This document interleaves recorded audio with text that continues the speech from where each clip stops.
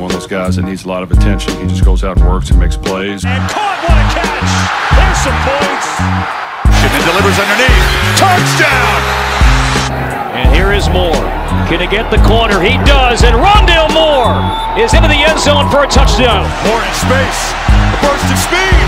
A first down for